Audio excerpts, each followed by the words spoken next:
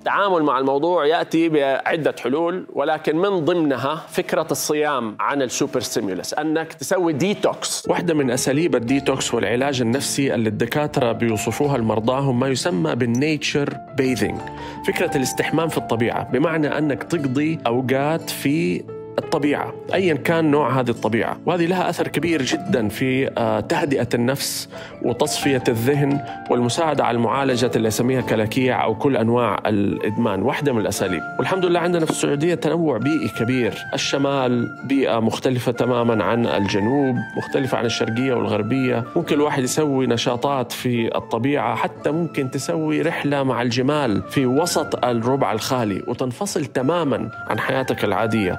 وهذه واحدة من أساليب العلاج النفسي. تخلي جسمك يرجع لوضعه الطبيعي سواء في الأكل أو في ال social media. ايا كان الموضوع اللي مسبب لك هذا الإدمان مهم جدا عمل عملية الديتوكس. عشان جسمك يرجع ينجذب. جرب وأنا جربتها. أنا جربت انقطاع عن ال social media أسابيع وأشهر وواحدة من أفضل الأوقات اللي أنجزت فيها في حياتي وحسيت فيها براحة داخلية وسلام داخلي هي المرات اللي أبعدت ال social media عن حياتي. وأنا زي زيكم ترى يعني موضوع الإدمان أنا أول ما اخلص تصوير ده حتلاقيني طلعت الجوال.